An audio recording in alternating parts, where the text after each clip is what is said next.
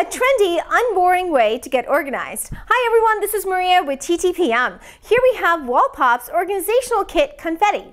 This is a peel and stick dry erase calendar, note-taking space, and corkboard. Four panels allow you to set this up any way you want to. The gold dots are so on trend and totally Instagram worthy.